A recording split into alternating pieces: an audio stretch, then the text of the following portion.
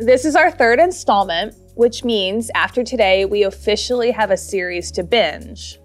And here's another teaser. This could be the most exciting episode in the series yet.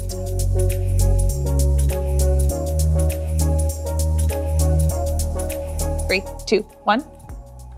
Alrighty. I see sulfur, I see hemimorphite, I see tanzanite. I think that's an imperial topaz which means we are actually going to talk about the orthorhombic crystal system today. And I know that because tanzanite, hemimorphite, sulfur, and topaz are all members of that crystal system. So this is going to be super fun.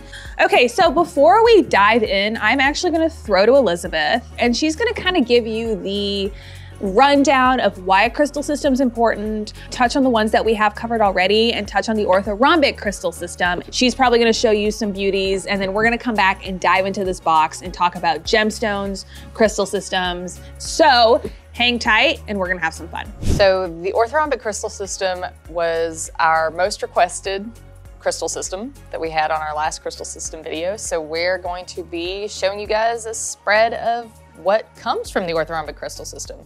There's actually a, over 300 members of this crystal system. With that, there's a ton that like not many people have ever heard of, but we're gonna focus on the ones that are the most popular. So we're gonna try something a little different today. I know you can see the dry erase board and the marker in my hand, and so we're gonna try to draw the orthorhombic crystal system, the unit cell, and then show you guys what the symmetry is like. So the orthorhombic crystal system is a rectangular prism defined as having three axes or three planes on it that are unequal, but they all come together at 90 degrees. So we're gonna draw that as A does not equal B, does not equal C, but alpha is equal to beta is equal to gamma is equal to 90. So, which means that it's a very ordered crystal system. So that is not only one of the definitions. So also it has three twofold axes of symmetry, meaning that you can rotate around this point 180 degrees. So you have a line here, a line here, and then because I'm not the best 3D drawer, you have one that comes through the center right there.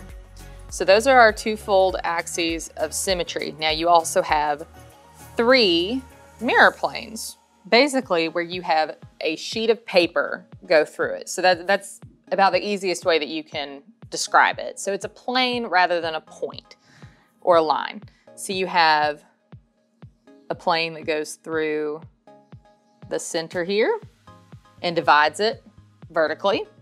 You have one that comes through this way in the middle, divides it through the middle, and then you have another one that comes out through the front and that is really hard for me to draw. But you guys can totally see where I'm going with this. So you basically just divide this rectangle into three equal parts. So vertically, horizontally in both directions. And then there's also a single rotational axis right there in the middle. And so that is how we define our orthorhombic crystal system. You may be wondering how this all relates to these really awesome crystals and to their gemstones. So what's really interesting about this is that crystallographically, this means that we have three separate axes that light travels differently down all three of those axes. With these guys, when you're testing them, you will actually get two different shadow edges that move, and we call that doubly refractive. And this means that we can have some really awesome trichroic gemstones like your tanzanite because you get that purple and then blue and then a pink direction. Well, and then you have Andalusite, which you can see all of their pleochroic colors in their cut gemstones, which is really beautiful. So we're gonna start off with one that I think receives a little little less than enough credit. I mean, it's it's actually a really interesting stone. They are often used in jewelry. They come from Mexico. So they're kind of on the scale of your topazes and they have this really, really nice crystalline shape. This is actually a very, very typical orthorhombic crystal shape.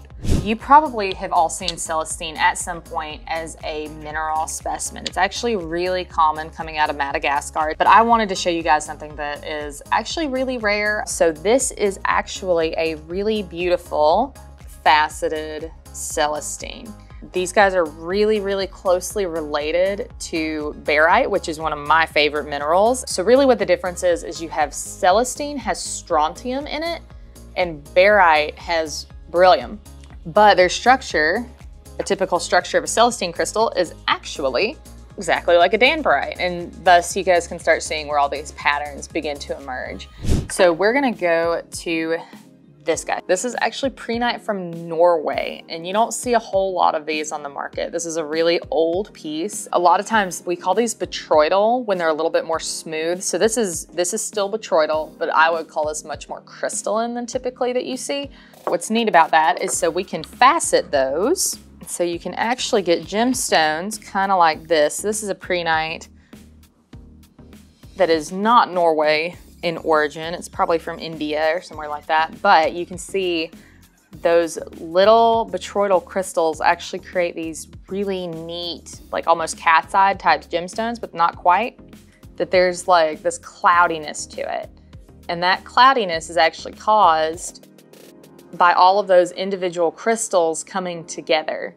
So then another one, and this is actually a rare color. So if you guys have the SGR, this is actually the prehnite gemstone from the SGR. Now this is just an absolutely beautiful faceted prehnite. A lot of people actually think it's sulfur because of that yellow color.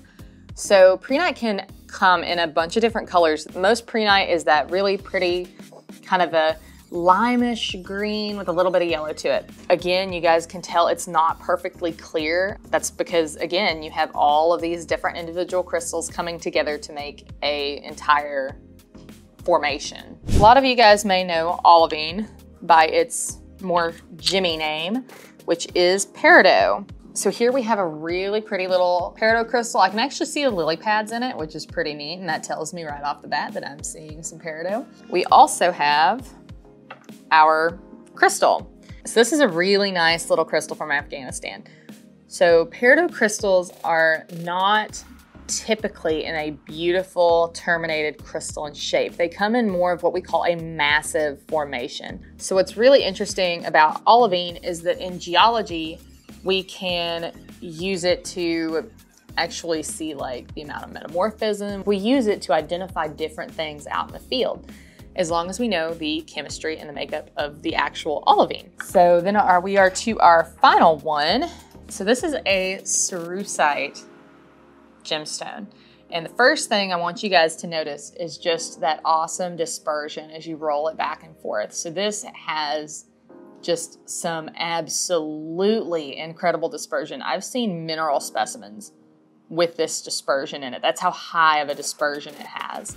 So these are, they're just a really rare gemstone. They're just so difficult to facet that people just don't take the time to do it. It's pretty soft, and then at the same time, the cleavage planes on it are just intense. But the other thing I want you guys to notice, so look at the facets on the back of this stone. Notice there's not that many. So there's really not that many facets. Now look at the front. There's a lot it looks like there's a ton. Well, that's because you're seeing some extremely, extremely strong double refraction. So you're actually seeing doubling of all of those facets through that stone. That's also one of the ways you can tell that this is cerussite is just that extremely stupendous, stupendous dispersion and the double refraction. Now, the way that you can tell this part from calcite, because calcite has a lot of double refraction and a lot of dispersion is how heavy this is. So cerussite is also called white lead and it is a lead carbonate mineral and it's actually one of the most important lead ores on the planet. And then here, finally, this is our little cerussite crystals. So this one's a little bit darker. Most cerussite is not a really pretty colorless, clear crystal. A lot of times they're kind of smoky, kind of cloudy. But what I like about it is you have this really beautiful, distinct orthorhombic crystalline shape, and you have a twin. You can actually see where some of the inclusions inside of it are doubled. So this, so even in just the crystalline form with no polish, no nothing, you can see that awesome, intense doubling. So now we're gonna throw back to Natalie. She is gonna start getting all of her awesome gemstones and specimens out. And let's see what she's got.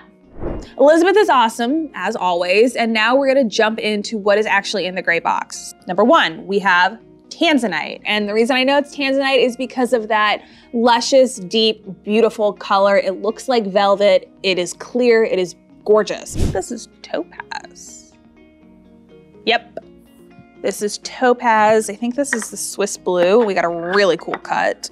This is imperial topaz. Imperial topaz is actually mainly found, if only found, in Ouro Preto, Brazil. But it's kind of known for that, I'm gonna say like this kind of like peachy pink, almost orangey color. All right, right here, this is not dried Gatorade. This is actually sulfur. And sulfur has that awful rotten egg smell. We've actually had sulfur on the channel before. And if you want to watch that episode, it was with Scott. It was shot in Tucson. I totally got stumped. And if you want to check out that episode, you can catch this link right here. Click this link right here. After this video though. But right here, we actually have chrysoberyl.